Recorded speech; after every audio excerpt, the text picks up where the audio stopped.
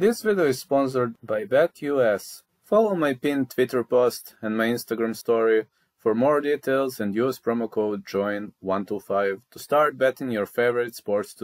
Joet uh, Gonzalez is uh, going to meet Hill Santisima.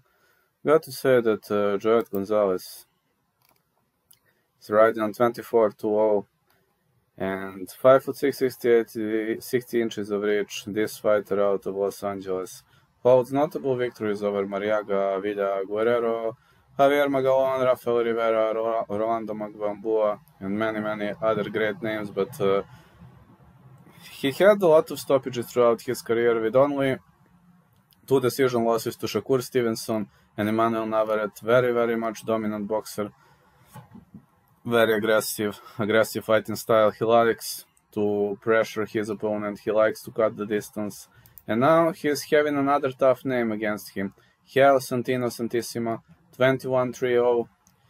This guy is uh, 5 foot 6, 67.7 inches of reach for Hiel Santisima. It leads to around 2 inch, uh, reach, 2 inch uh, reach advantage. And the, on the end of uh, Joet Gonzalez, Hiel Santisima is fighting out of Masbate City. He defeated Alan Alberca, Marjon PN, uh, PN Senaves, and defeated Uriel Lopez, Terchai, Dogmun 3, and many other fighters. He lost to Emmanuel Navarrete after a referee stopped uh, the fight.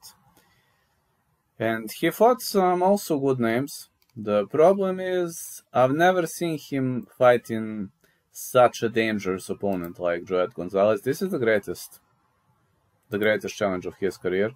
I do believe Hiel Santisima has the chance to go the distance.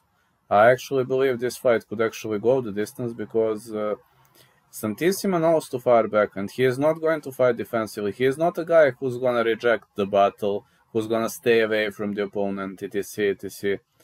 I'm also gonna go with another neutral prediction. I'm gonna say over 6.5 for this one.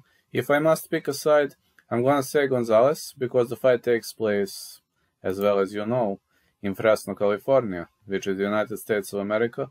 But uh, I'm going to give uh, the advantage to Gonzalez if I must, but over 6.5 gonna be my